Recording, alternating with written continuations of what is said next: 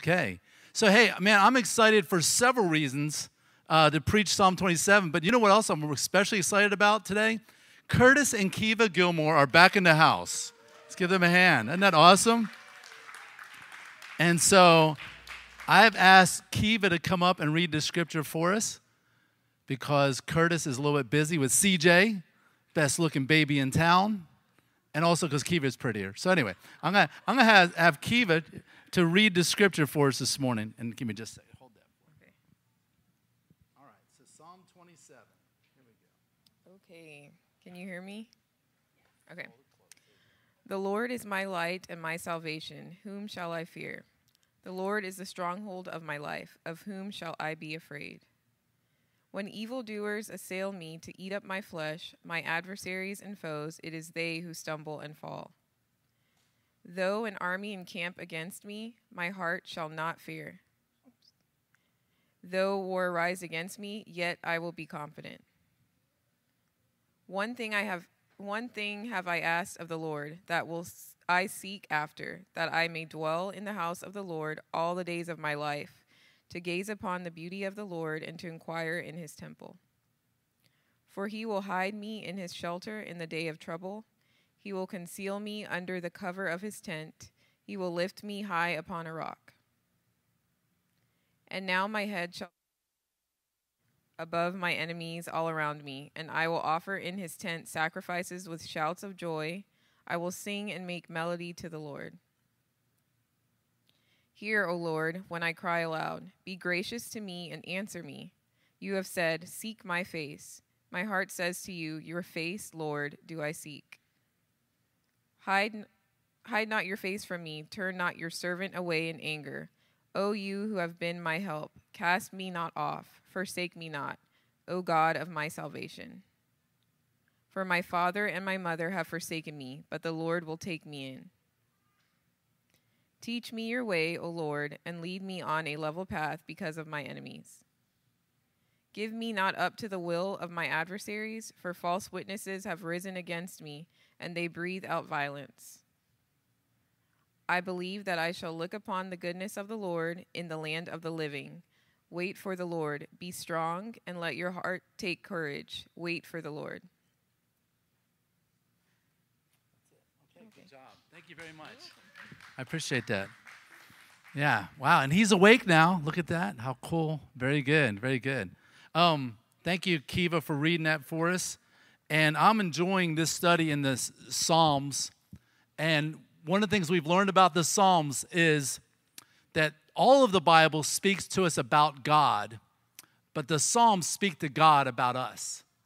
It is a really genuine way to give your heartfelt feelings, emotions, your conflicts, your depression, your anxieties, everything that you're experiencing, a way of reading it to God.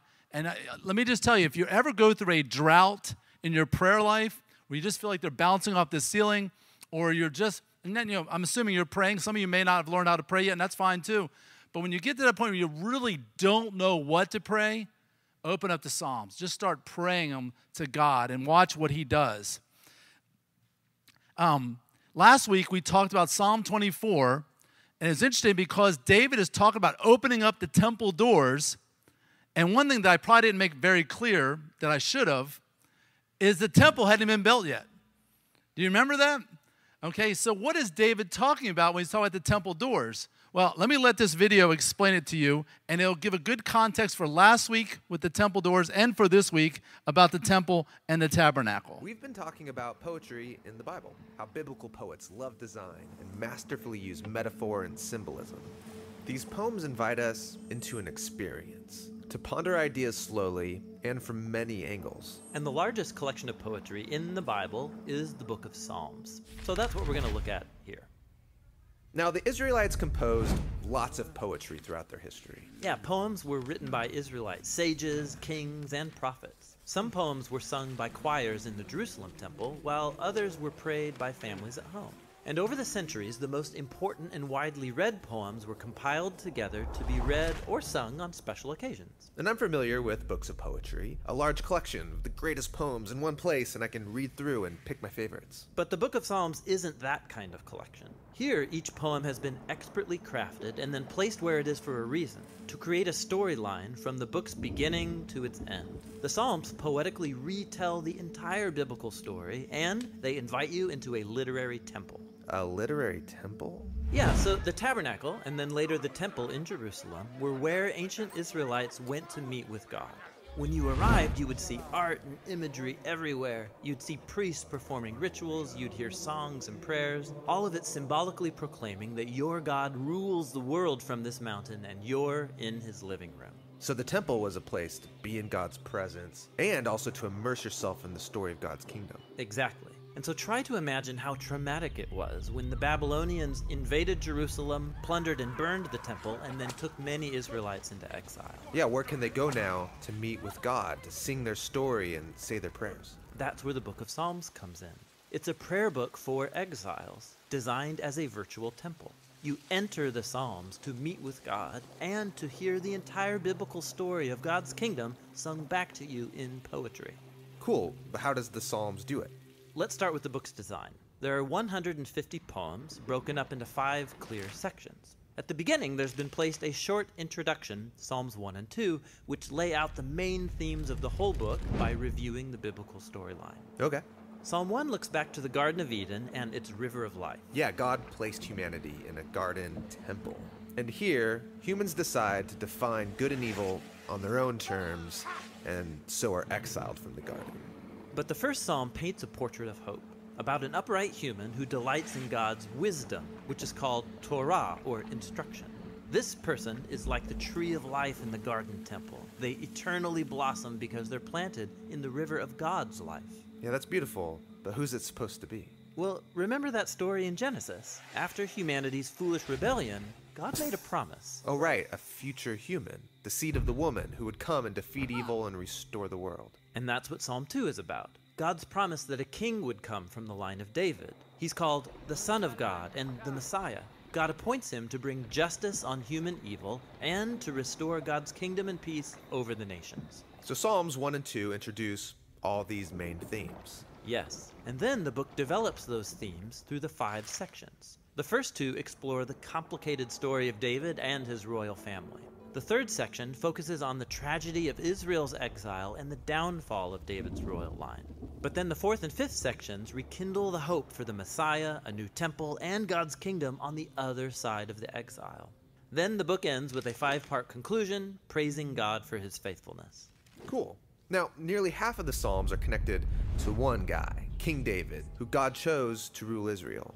Yes, David's story is really important in this book. He experienced many times of hardship, but he trusted God with radical faith. And in these poems, David shares his fears, confesses his failures, and offers thanks to his Redeemer. And he's constantly speaking of a deep longing to be in God's presence in the temple. But wait, David lived before the temple was even built. Exactly. This portrait of David, hoping and praying for God's kingdom and a future temple, it resembles the hopes of the later generations of the exiles. And so, David's prayers could become theirs as well. David's like a prayer coach, giving us words for how to pray and how to discover God's presence in good times and bad. Exactly. There are 73 poems connected to David, but most of the rest come from later generations of biblical poets, and they have learned to pray and hope like David. And so the end result is the book of Psalms, designed as a virtual temple for all generations of God's people. This isn't a kind of book you just read once and put down. No, it's designed for a lifetime of slow rereading and reflection. These prayers and laments and songs of praise are meant to become our own. They're poems for exiles who are learning to live by God's wisdom and to seek God's justice in the world as they hope for the coming Messiah and the kingdom of God. Amen. Hope that was helpful. So you have Adam and Eve in the garden temple, okay? And then as Israel's roaming in the wilderness, you got the tabernacle. These are each places where God's glory meets with God's people. So then David wants to build a tabernacle or a temple, but God says, No, you've got too much blood on your hands. I'll let you lay out the plans, gather all the supplies, but Solomon's going to build the temple. And so the temple is built, of course, then it's destroyed, then it's rebuilt in Jesus' era, and then it's destroyed again And of course, then Paul says to the church, You are the temple, that each one of you as members are a stone stacking up together to build God's temple where God's glory will meet with God's people. But then he also says in 1 Corinthians that your bodies are what? The temple. And remember how God's presence was often displayed by a pillar of fire or smoke or whatever? So, what happened at Pentecost? A clove of fire over each individual, marking God's presence is over me. That each believer individually, their body was a temple and God met with them there. So, no matter where you are in the world, you can worship God and be in God's presence because the Holy Spirit does what? Dwells inside you. You read over and over in the Old Testament how the Holy Spirit came upon Samson, how the Holy Spirit came upon David. And in the Old Testament, the Holy Spirit came upon people, but in the New Testament, the Holy Spirit lives within people. And so you could say we have an advantage over Old Testament saints, if you will, but that doesn't, that doesn't indicate gaining or losing salvation. It's just talking about the way the Holy Spirit of God operates. So hopefully that's helpful to give some context to Psalm 27 today. And what you're going to see here is David is like maybe bipolar or something's going on here because he starts off with a bang, just super confident and just super into it. And then all of a sudden he just crashes in the middle of like, man, God, don't forsake me. Don't leave me. Don't be angry against me forever. But then he comes right back out of it.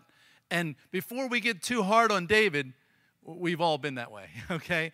I, I have my ups and downs, and I don't consider myself a very emotional person, but I just it seems like I just have ups and downs, and and the only thing that gets me through it is just the promises of God's word.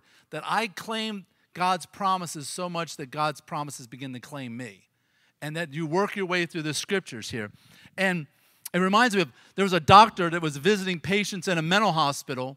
And he comes to one room where there's two patients that share the room and they're each on their bed. And he goes up to one of the patients. He said, Hi, I, I, I'm Dr. Lanier. He said, uh, What's your name? He goes, I'm Napoleon. He goes, Oh, you're, you're Napoleon. Okay. Um, the Napoleon. He said, Yeah. He said, um, Who told you you're Napoleon? He, he said, God did. And the other patient goes, I did not. anyway, that's my joke for today. Anyway, David reminds me of me when he's so up and down that he's just not whether questions whether or not he's emotionally stable. But what the Psalms do is they bring stability. They let you, God gives you the prerogative to just empty it all out. You're not going to hurt God's feelings. You know that? If you say, God, I don't think you even care. I wonder if you're even there. I'm not trying to rhyme here, but if you just you just go on with your complaints, God's a big guy. He can handle it. As long as God doesn't want perfect prayers, he wants honest prayers. And that's what the Psalms give us. And David really lays it out there. And he starts off with, The Lord is my light. And you, you know, when uh, many of you have been around the Bible enough to, you know, when you see the word Lord in all upper caps, it's Yahweh or sometimes transliterated Jehovah. It means the all sufficient one. The God who has everything and is everything is the one who is my light. Okay? So you need to realize there's nothing you need that God cannot give you. If you need more money, God's capable if God's not giving you all that you want, it may be for a very good reason, just like you don't give a 16 year old a new Corvette, okay? You may be asking for something that God's saying, whoa, whoa, you're not ready for that. But God is all sufficient and He can supply all your needs. But let's move past physical needs. He provides all of your emotional needs. Many times we put that burden on another human being. We want our kids to fulfill our happiness, we want our spouse to fulfill all of our happiness and our joy. And what we do is we get upset with them because we say they're not meeting my needs. Guess what? They weren't designed to. They are not, there's no human being that will meet all your needs. So if you're still looking for the right guy, it's, his name is Jesus, okay? Find him, and then that guy you're living with or married to or whatever will look a whole lot better because you found Jesus and you're not putting all the weight of a creator on another human being, a wife or a mother or parents, if you're, if you're trying to please your parents, you're still looking for mom to say, You're a good kid, you know, and you're 40 years old. If you're still looking for that, just stop. Get your approval, get your emotional satisfaction and fulfillment from Jesus. And everybody else is like, oh, that's, that's great. Whatever you give me is, is bonus, is icing on the cake. Notice it says, the Lord is my light and my salvation. we all go through dark times. Uh, you've been there, I've been there. You know, I've, I'm texted out that, that this is one of my favorite, if not my, the favorite psalm. And there was a time in my life, you know, 18 years or so ago, that I was just so down and depressed and so discouraged, just thought that God had totally forsaken me that the only thing that got me through was getting on my knees and reading the Psalms, especially this one, Psalm 16 and 27. I would go back between 16 and 27 over and over again. Reading them out loud was the only relief I got from the anxiety. I felt like I was going to have a nervous breakdown. And if you know me, I'm a pretty chill, laid back person. So for me to be going through that, it was pretty traumatic. And so I was in like a dark place, and God was the light that shone in the darkness. And literally, there was times I would read the psalm and be like, oh, I feel better. Get up, walk into the kitchen, and all of a sudden that cloud would come over me again. I'd be like, oh, what am I gonna do? And I'd go literally right back to the couch, get on my knees, open up the psalm again, and read it again. Um, sometimes six, seven, eight times a day. I know it sounds crazy, but you've been there, some of you. And if you're not there, you will be. You know, and I'm not trying to prophesy doom over your life. I'm just saying that's life. Life stinks at times, and we will all go through dark times. And so it's good to know that God, and here, what's really interesting, it doesn't say God gives me light, it says God is my light. Jesus said, I am the what? Light of the world. And here's the thing it says that light shone into the world, and the, and, and the world rejected it because men love darkness rather than light. Some people love their darkness. And it says the reason why they love darkness is because, because their deeds were evil. So darkness is referring to a dark lifestyle. And so people will choose that over the light of God. But also, darkness can also refer to like the depression and things like that. And you ever met some people who like to play the victim? Maybe you're that way. You know, I, I know someone who, and you, you don't know who I'm talking about, so don't try to guess. But, uh, you know, they were hurt by their husband being unfaithful, and this is forever ago. And yet, this person will talk about him leaving her for another woman like it was yesterday. And we're talking decades. And they are, they are identified as the divorced, spurned wife. That's their identity, and they cherish it because as long as they're the victim, they're not responsible for their behavior. They're not responsible for it's his fault, it's not mine. Some people love darkness rather than light. You know, God doesn't want you to stay in the darkness. It also says, He is my light and my salvation. Okay? Um, what's interesting about this is, hold on for a second. Now it's going to ask for Face ID. Here we go. All right, here we go. Sorry about that. Um, the word salvation comes is the, at the root of Jesus' name. Jesus' name means Jehovah or Yahweh is my salvation. And in this context, it means deliverer. And, and salvation means delivered from various different things. And Jesus also said that what? I am the light of the world, which I've, I've already covered. But what he's saying here is the Lord present tense is my salvation. It's not like God's going to save me someday. God's going to get deliver me from this trouble. God's going to deliver me from this darkness. No, God already is your hope of getting out of the situation. Present tense. And see, what many of us don't realize is we look at the valley of the shadow of death and say, Man, would you get me out of this? And that's not what David prayed. He said, Yea, though I walk through the valley of the shadow of death, in the midst of the valley I will fear no evil, because you are with me. With me where? In the dark valley. Understand that God takes us through valleys for a reason. He is just as much there in the valley as He is on the mountaintop. He's just as much there in the darkness as he is on the sunrise and the sunset. So don't say, well, man, someday I'll be out of this and then I'll feel like God has saved me. No, he's saving you in the valley. Cherish the valley while it's, while it's there. And there's, let me remind you uh, uh that one of the healths of a mark, uh, we've been studying one of the healths of a, one of the marks, nine marks of a healthy church is good biblical theology. Understand that there are, this is where most Christian religions get way off track because they don't understand what I'm about to show you. And some of you have seen this before. There are three aspects of salvation.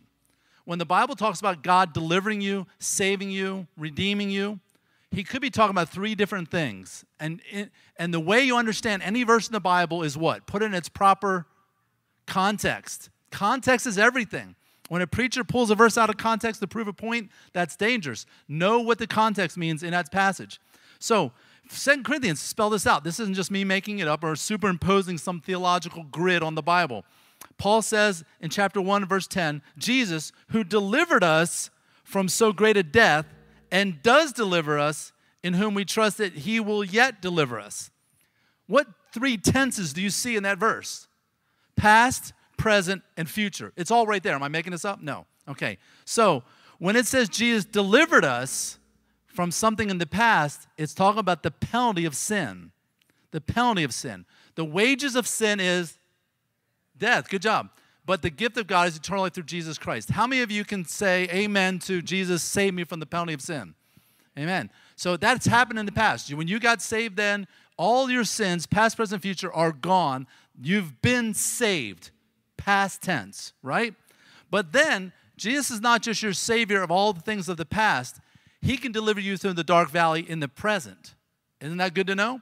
So it says he still does deliver us. He is your savior through economic trouble, through physical trouble, through marital trouble. You name your problem, Jesus can be your savior, your deliverer, present tense. Not that you're being born again again, you're being delivered from another set of problems. And then future tense that someday he will yet deliver us.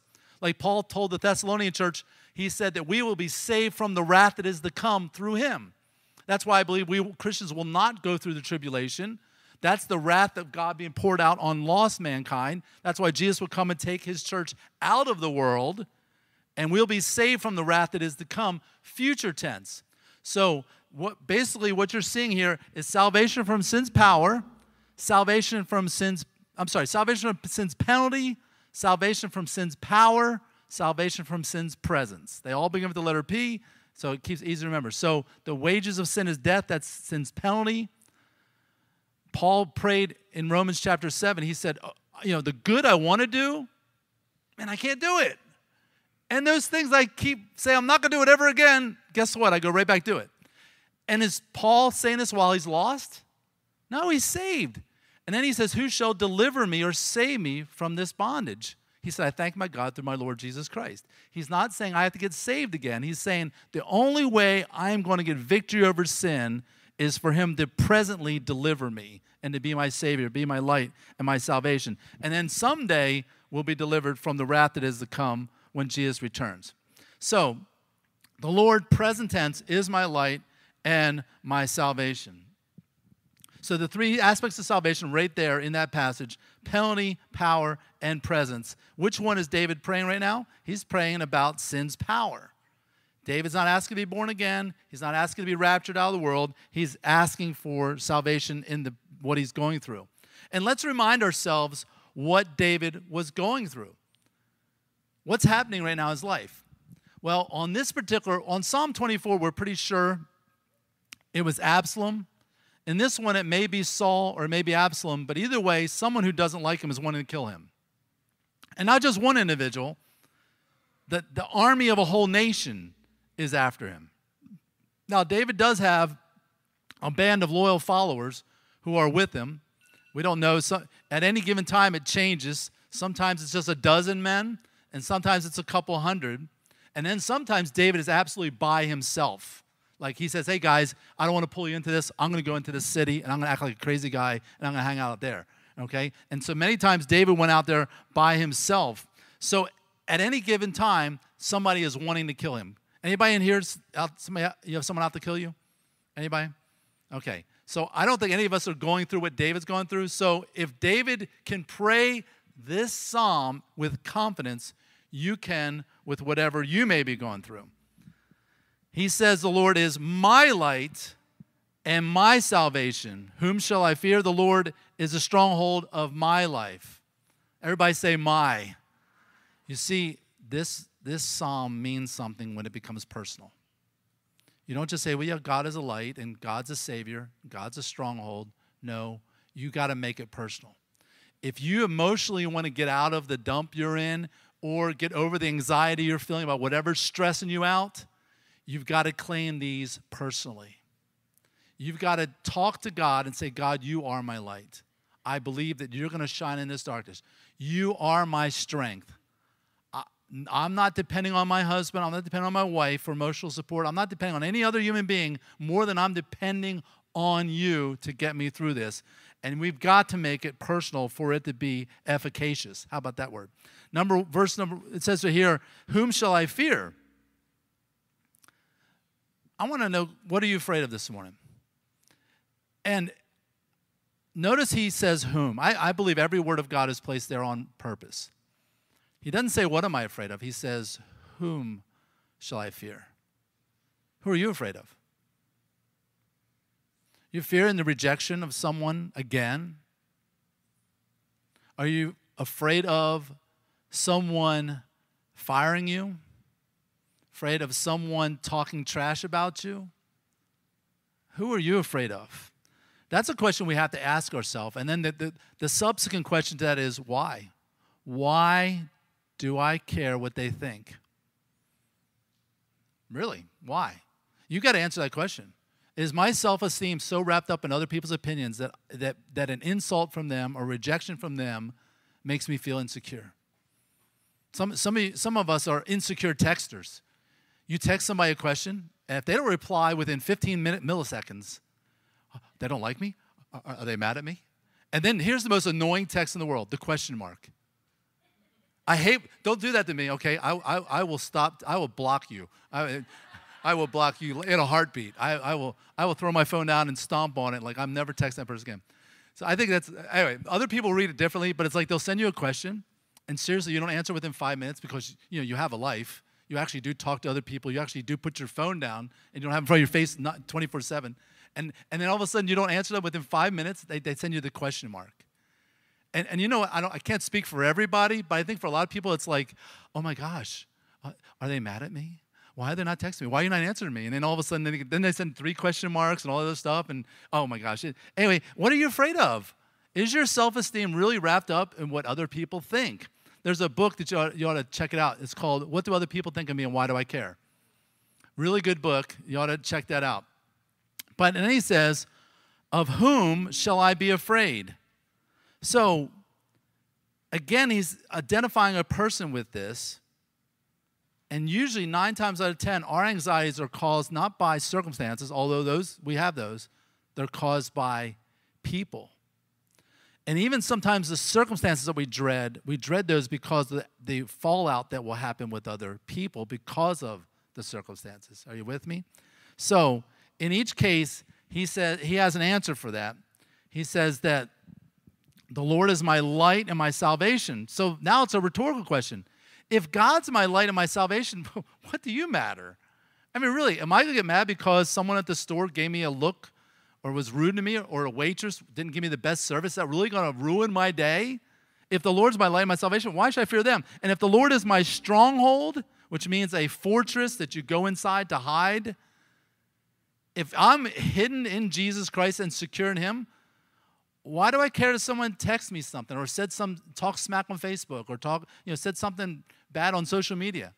Does that really going to shake me if, if the Lord is my stronghold? Here's a picture of a stronghold. This is actual David's uh, tower, and it's a fortress that, that, that what's left of it over there in Jerusalem. You can see it's a modern day picture. There's lights on and all that. Um, but imagine if you were inside this and an army's trying to attack you. I think you're doing pretty good, wouldn't you say? And really, David says over and over again that the Lord is my refuge and my stronghold, and those who run therein shall be safe. So you picture you're outside these city walls and armies chasing you. You know, you got one sword, they've got a hundred guys with swords. But you run in there, and you, as you're running towards the gates, hey, open the gates, open the gates. And they open the gates, and you run in, and they slam the gates shut and the, put the big bar down. All those other guys are outside going, oh, darn. And you're safe inside, not because you're stronger than that army, but because where you're located at. And if you're in Christ, you're in the stronghold. He says, When evildoers assail me to eat up my flesh, my adversaries and foes, it is they who stumble and fall. So David is seeing, you know how Stephen Covey talks about seven habits of highly effective men? I mean, highly effective what?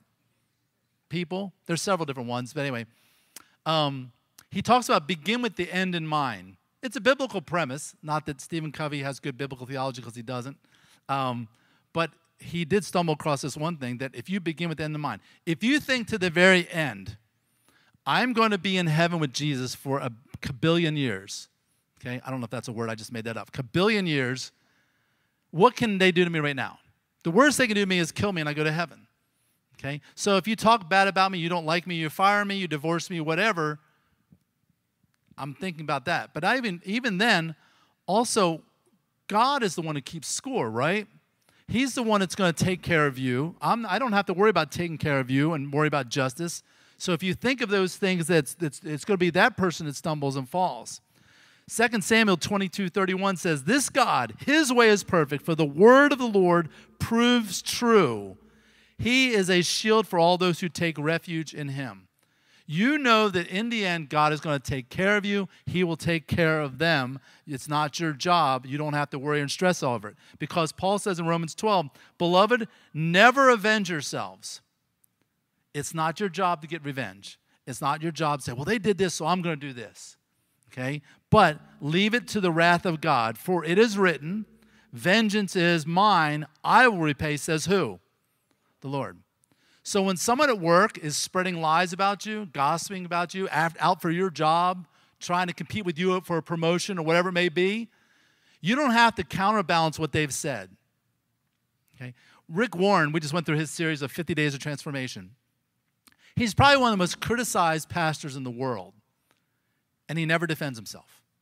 He never says, "Oh no, I didn't say that," or "You took that verse out, you took that out of context," or "No, I didn't do this." And people, you just go to YouTube and watch how people will trash Rick Warren and say he's everything from the Antichrist to the false prophet to you know a, a false gospel and all that stuff. And all he does is preach the gospel, and tens of thousands of people. He's he's literally changing the world single-handedly, and uh, people will criticize him, and he says, I, "I never defend myself. The Lord is my defender." That takes faith. Because, man, when someone says something that's not true to you, you want to go and tell everybody, hey, just for the record, I just want you to know that what they said was not true, and here's the truth, blah, blah. And we feel, can you keep up with that? No. It's, it's like the old adage a lie gets halfway around the world before the truth even gets its boots on in the morning. You know, you can try to go around and try to spread the truth, it's not, you're not going to keep up with it.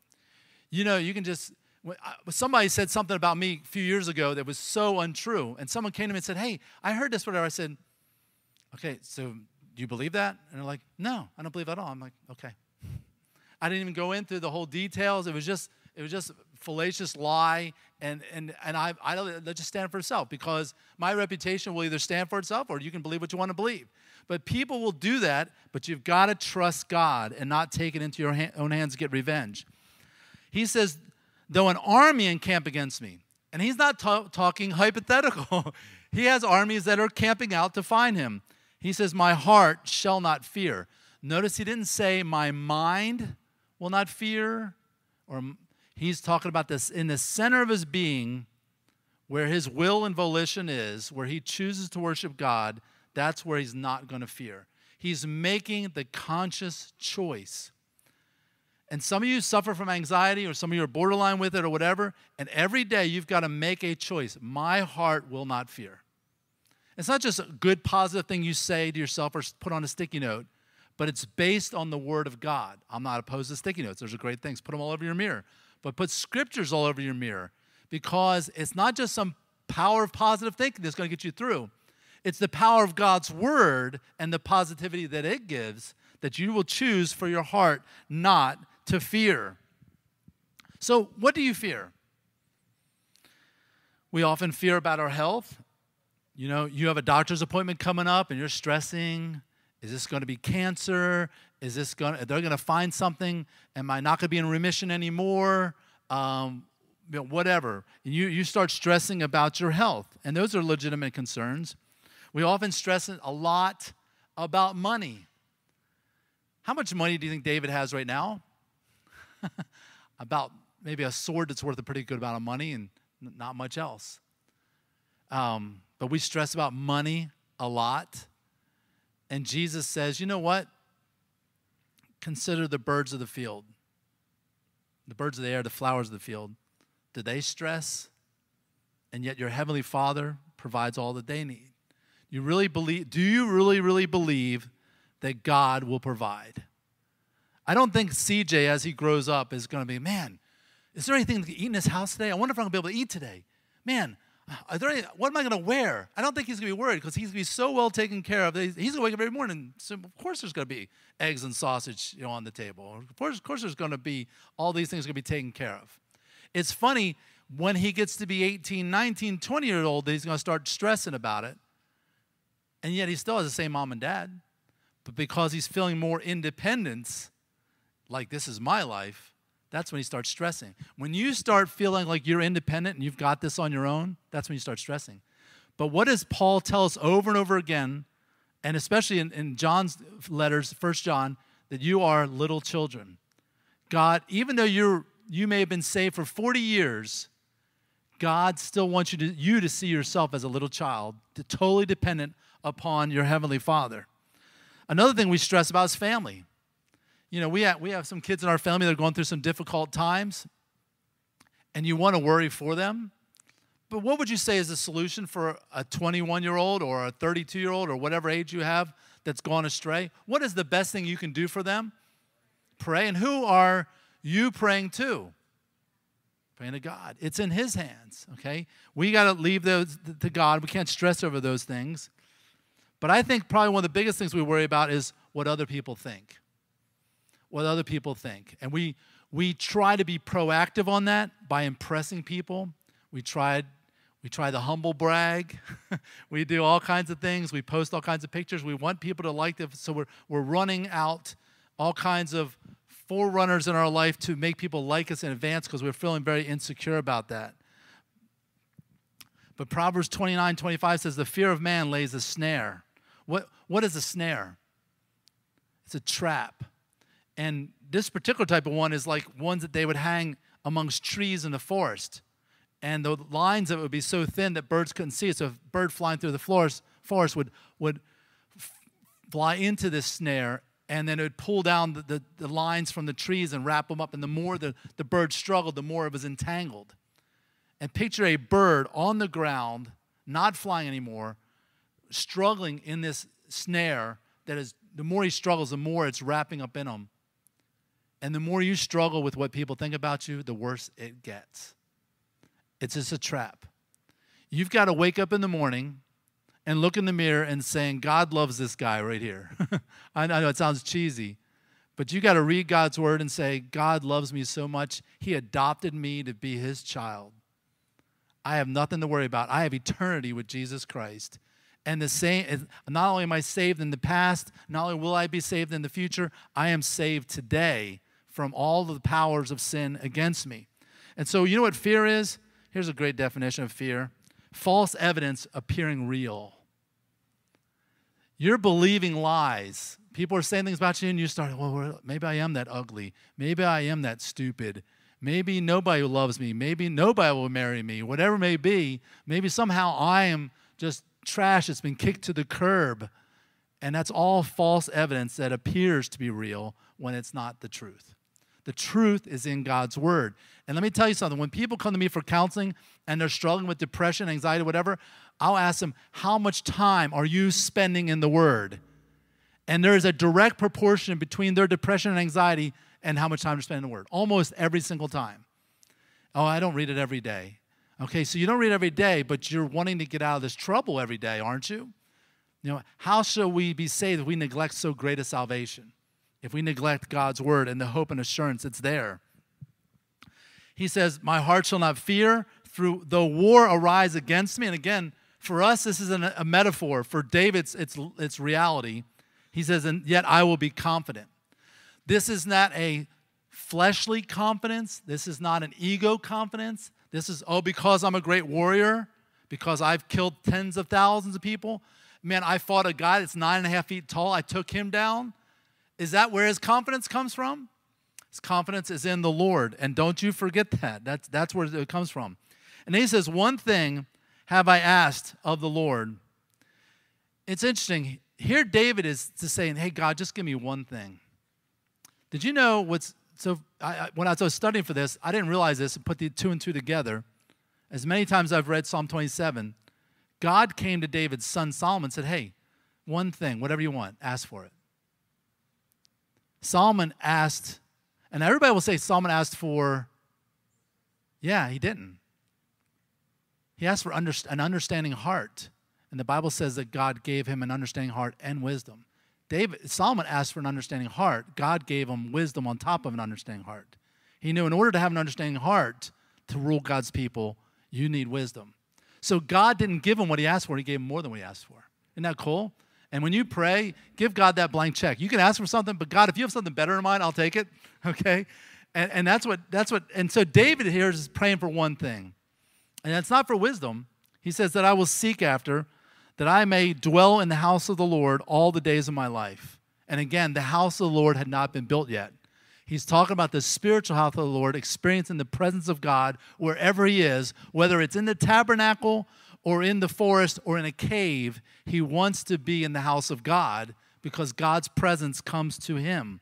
And what's interesting, he says, I'm going to ask it, but then I'm going to seek after it. Many people will ask God for something, but then not seek it. Why hasn't God answered my prayer yet? Because you're not looking for it. You're not going after and seeking it. And the word seek here could also be translated pursue. What does Jesus say? Ask and it shall be given unto you. Seek and you shall find. Knock and the door shall be opened unto you, which those conveniently spell ask, A S K. Ask, seek, and knock. And he's saying you've got to be persistent. You can't say, God, give me a job, give me a job, give me, give me, give me a job. And then you don't go out and you seek a job. You don't say, God, give me a wife, give me a wife, give me a wife, and then you sit home and play video games. Just saying, just saying. Okay, Charles, it didn't happen that way, did it? Right? You have to go to gym to get your wife. That's right. Hold. If you want to hear the story behind that, see Charles after church, right? And he didn't meet Amanda there. Anyway, um, he said, "I will dwell in the house of the Lord all the days of my life to gaze upon the beauty of the Lord and to inquire in His temple." That's why I'm thankful Chris picked that song, "The Beauty of the Lord." like I said, I've been saved since I was nine, and I've always been learning about Jesus. And then here, 46 years later, I feel like I'm just understanding the beauty of Jesus. Tammy's something to behold. I, I call her good looking, SGL. It's so good looking. Has other meanings, but it's SGL. Anyway, um, and you know, you, you look at someone who's beautiful, you just want to just stare at them, you know? Or you see a beautiful sunset or sunrise, or a forest or whatever, and you just look at it and you just you just want to stare at it. And that's what Jesus wants us to do. And now we can't do that physically right now, but we can do it in a even more supernatural way than our physical eyes. We behold him in the word. And what I want to encourage you to do is when you read the word this week, I want you to read it in a different way than you ever have before. I want you to read looking for the beauty of Jesus how beautiful. And you know, it's interesting. When I met Tammy, she had this phrase that I didn't understand. When one of the kids would misbehave, oh, you're being ugly. I'm like, you just call our kid ugly? Man. And but what she meant was ugly on the inside. Oh, that's ugly. Don't do that. That's bad behavior, which it teaches kids the importance of it's not what's on the outside, it's what's on the inside. And right on the inside, you're acting ugly. And so the more we understand Jesus' heart, the more we behold his beauty. And the more that we see how he um, how beautiful he is and when you read the word that you should be looking for is the beauty of the lord. He says one thing have i asked of the lord. He's asking for that one thing. What is your one thing? For many of you it's like oh god please a better job a better job. Okay let's say you get the better job. Are you happy now? Do you realize whether you get the better job or you're stuck with the same horrible job if you behold the beauty of jesus that's the one thing you really need. What's the one thing you're seeking after?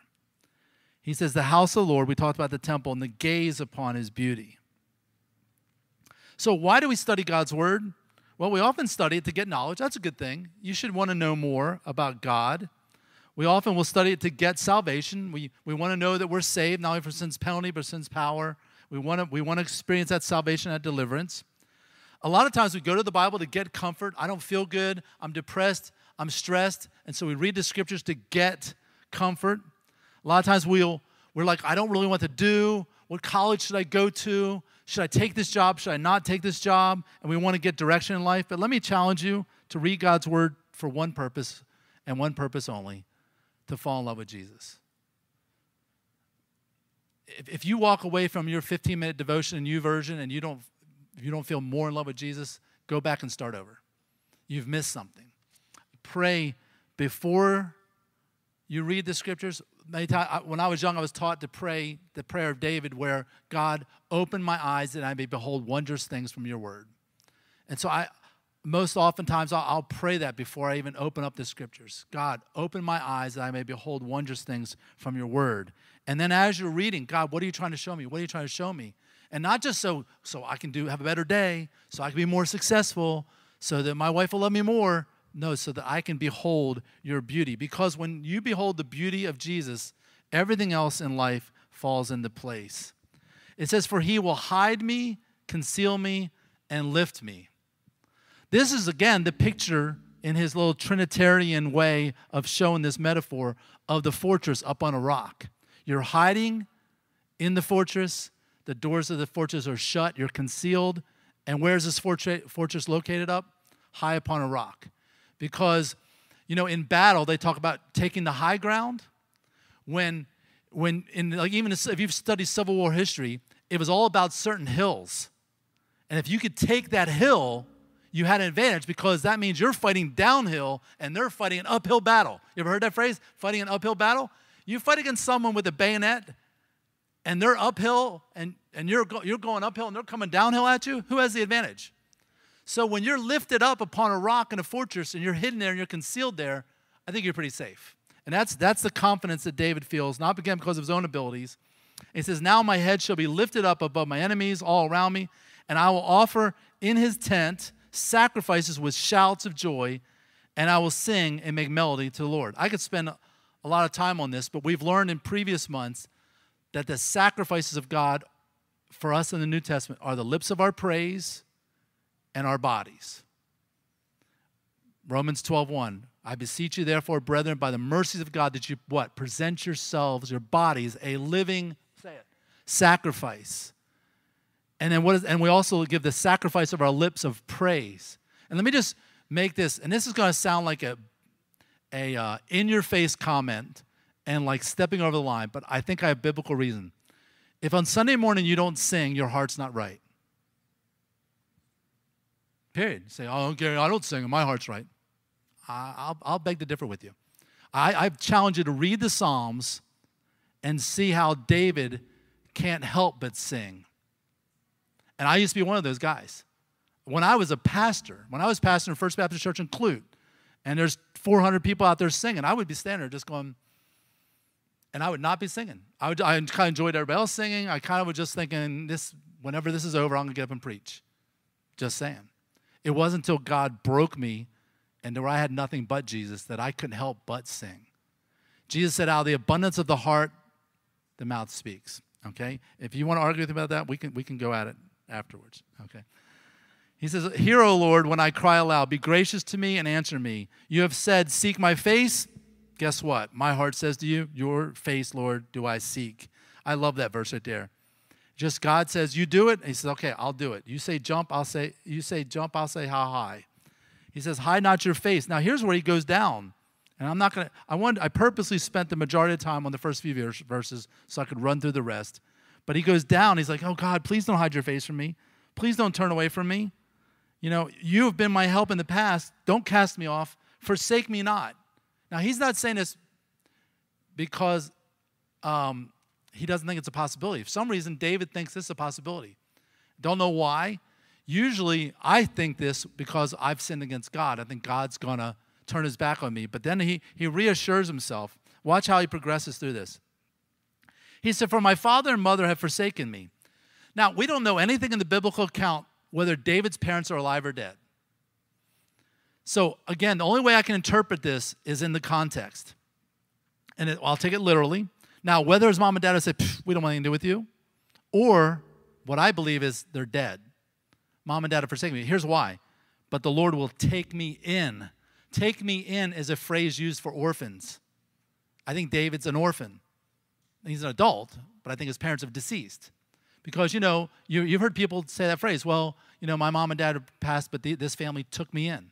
It's not like they came over for dinner one night. It means they took me in. I lived there from then on. Okay? So that context tells me mom and dad are dead. And even though my mom and dad are dead, the people who love me most, so anybody loves you more than your mom and dad?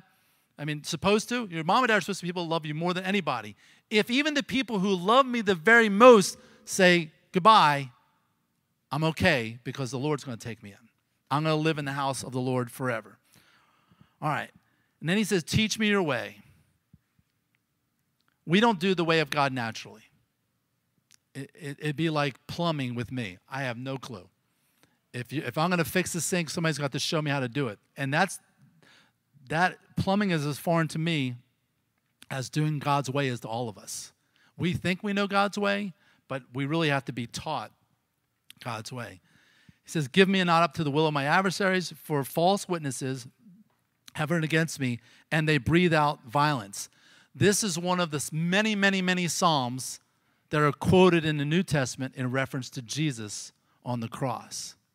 You see, Jesus was given up to his adversaries so that you wouldn't have to be. Jesus was forsaken so that you would not be forsaken by God. Jesus had false witnesses speak against speak lies against him so that you could experience the truth. Here's where we see the gospel in this Psalms. And Jesus experienced the most horrific violence so that you would not have to go through the, the ultimate violence, and that's eternity in hell. Jesus went through all of that for us. And then he says this I believe that I shall look upon the goodness of the Lord in the land of the living. Basically, what David's saying here, and again, Jesus is also saying this through the cross, that even if they kill me, I'm going to live amongst the land of the living because I have eternal life. So he, this is where he closes with three pieces of advice. The first one he's going to repeat wait for the Lord. See, many times we want to jump ahead of God. We're going through something and we're like, oh, I don't know. I can't handle this job anymore. I'm just going to quit. And we quit without praying about it. You're like, man, God's like, man, I was just about to fire your boss, but you ran ahead of me. You didn't wait for me. And what's there's more in this word wait than just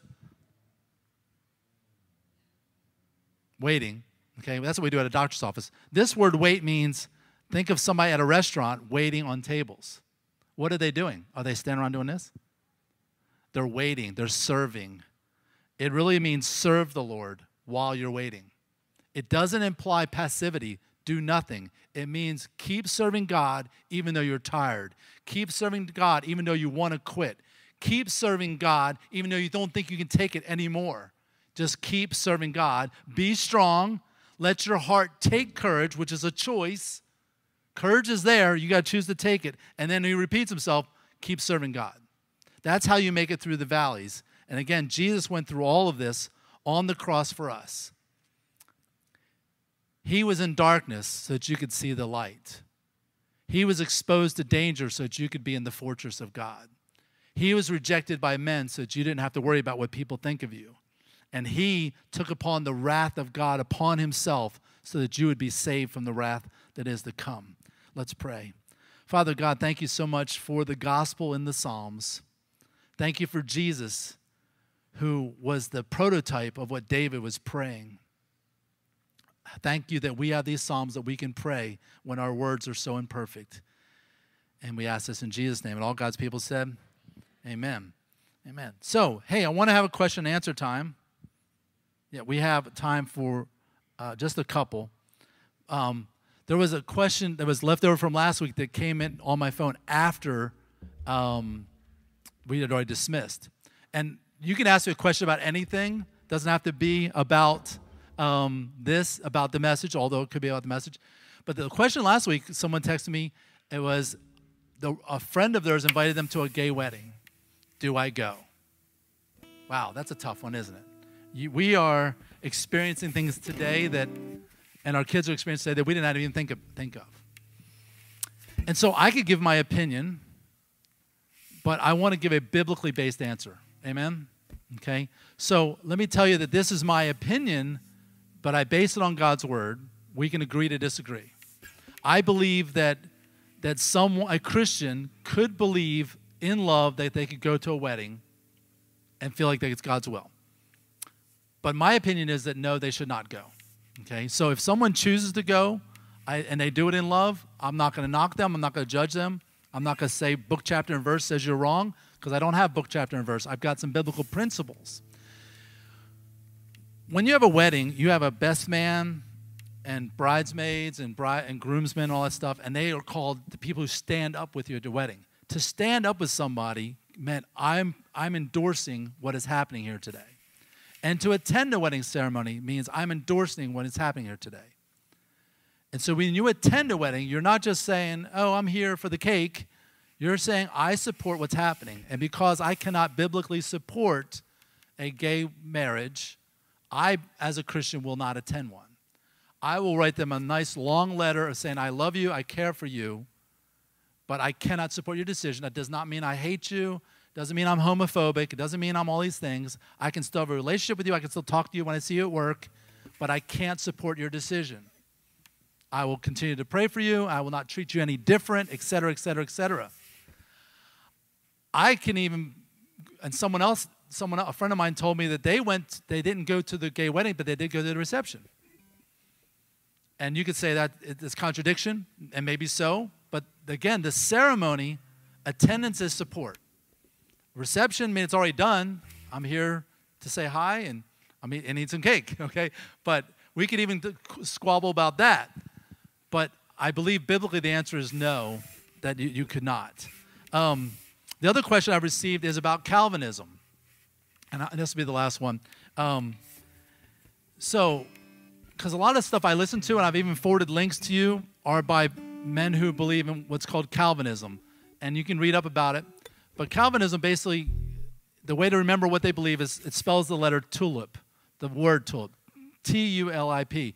T is for total depravity. That man is totally depraved. Now, I believe man's totally depraved, but their definition of total depravity is different. I could hash that out later. Uh, then the U, I'll skip that. The L, that is the big problem I have, is what's called limited atonement. Calvinists believe that Jesus died only for the sins of the elect. You know your Bible better than that, right? How many times does the Bible say Jesus died for the sins of the whole world? I believe that means what it says. So, how can you say Jesus only died for the elect when the Bible says in multiple places he died for the sins of the whole world? The I in TULIP stands for irresistible grace. That when God draws you to himself, you can't resist, you can't say no. And if God's not drawing you, you can't be saved which totally erases your choice. I believe the balance is that yes, God is sovereign and in total control of everything, and at the same time, you have free will and you have choice. That whosoever will may come means whoever wants to can, or they can choose not to. And that whole thing about irresistible grace, Jesus said to the Pharisees, You do always resist the Holy Spirit. And they were lost. So they resist the Holy Spirit and got lost. And but Calvinists teach that no, when the Holy Spirit draws you, you can't resist it. It's irresistible grace. And then there's the P, which is perseverance of the saints, which is a whole other topic. So, am I a Calvinist? No. Do I believe in sovereignty, predestination, and election? Yes, I do, because they're all in the Word of God. But they, do I also believe in man's free will and his choice? Yes, I do. Do I believe they exist at the same time? Yes. Can I explain that? No. is Jesus 100% God? Yes. Is he 100% man? Yes. That doesn't add up mathematically. Yep, I can't explain that. But it's true. So, is God one? Yes. Is he three persons? Yes. Can you explain that? No. Okay, but I accept I can't I may not be able to comprehend it, but I can apprehend it. Okay, and you can think about the difference there. All right, let's stand and sing to the Lord.